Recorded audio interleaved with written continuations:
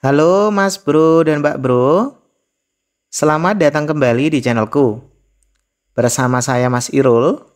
Di kesempatan ini saya akan coba berbagi sebuah tips, trik, ataupun tutorial seputar internet. Khusus kali ini saya akan coba ya membahas cara membuat gambar apa pun yang kita inginkan dengan modal AI atau dengan menggunakan mikroskop Edge doang. Nah, kira-kira gimana ya caranya membuat gambar menarik kayak gini? Nah, untuk itu teman-teman, simak tutorialnya di video ini hingga akhir supaya teman-teman itu nggak gagal paham. Selain itu, bantu juga support channel kami dengan klik tombol subscribe-nya. Kalau sudah, mari kita mulai videonya teman-teman. Oke, pertama-tama saya menyarankan teman-teman itu sudah menginstal atau memiliki Microsoft Edge. Kemudian teman-teman tentu saja sudah punya akunnya ya. Kalau sudah, sobat bisa lihat di sebelah kanan ini ada beberapa fitur nih ya. Kalau kita hitung dari atas nih nomor satu, nomor dua, nomor tiga, nomor empat, nomor lima, nomor enam, nomor tujuh, nomor delapan. Nah, di bagian nomor 8 ini ada namanya image creator nih. Yaitu sebuah tools yang mampu membuat gambar dari teks apa pun yang kita tulis. Kita coba klik di sini. Maka akan jadi kayak gini. Ini bisa kita perbesar kayaknya ya. Oke, kayak gini doang.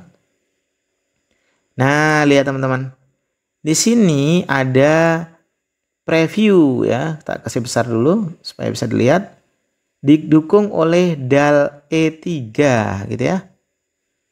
Jadi ini didukung dengan DAL E3 sehingga teman-teman bisa membuat gambar dari tulisan yang sobat pengenkan di sini ini.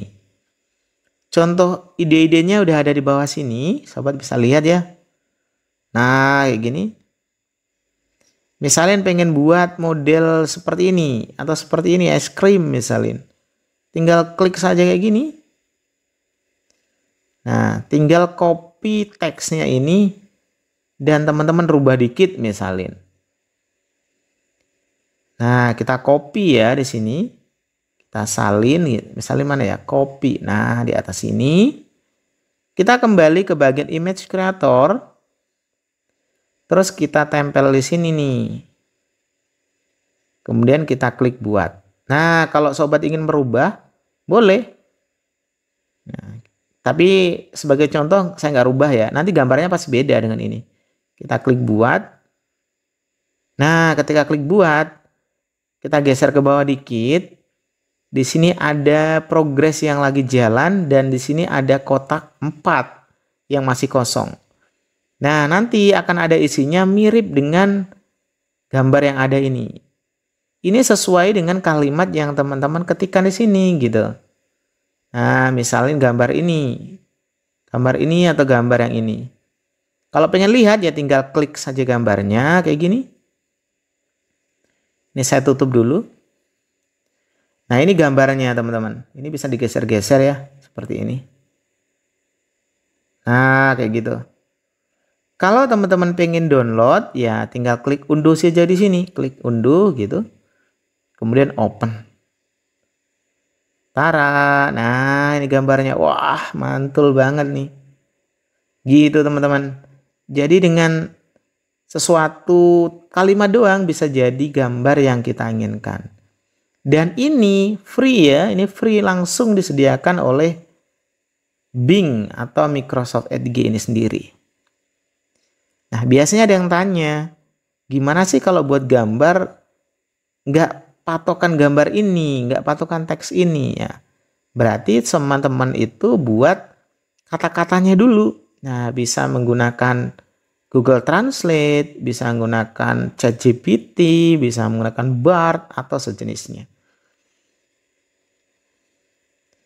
Nah, misalnya pengen buat apa nih? Pengen misalnya ya, Coba kita tes bahasa Indonesia ya, bisa atau tidak. Nah, kita tulis misalnya kucing pakai kaca mata di pantai. Di pantai, sorry salah ngetik ya. Pantai gitu. Nah, kita coba bahasa Indonesia, kira-kira dia mau respon atau tidak, atau hasilnya sesuai atau tidak. Kalau nggak bisa, nanti kita rubah bahasa Inggris. Kita klik buat. Kita cek ya. Nah, di sini masih coba, ini masih ini ya. Masih progres membuat.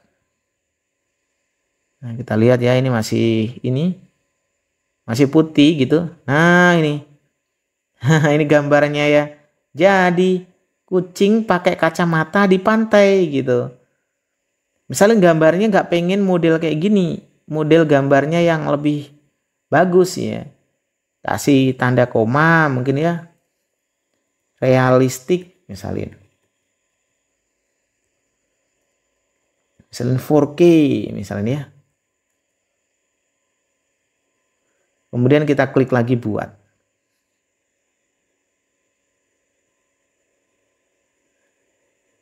Kita tunggu. Nah, tergantung kalimat-kalimat di sini gitu.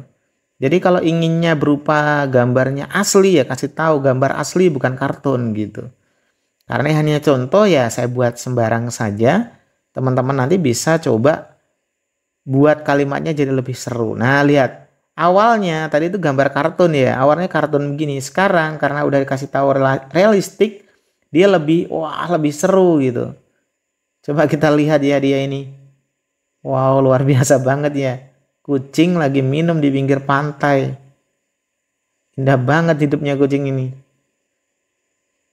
Bentar ya, gangguan jaringan nih. Nah, ini aja ya saya kasih lihat. Nah, gini. Karena jaringannya lagi kurang sip. Gitu teman-teman. Jadi dengan bantuan ini, bantuan AI, atau bantuan dari Microsoft Edge, teman-teman nggak perlu menggunakan website lain atau ibaratnya aplikasi-aplikasi lain yang mungkin saja bisa kurang baik buat kesehatan komputernya kita.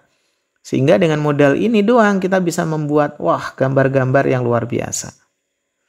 Gimana sobat? Menarik bukan? Nah, kalau dirasa menarik jangan lupa ya like-nya, komennya, atau bahkan jika memang bersedia di-share tuh kepada teman-teman.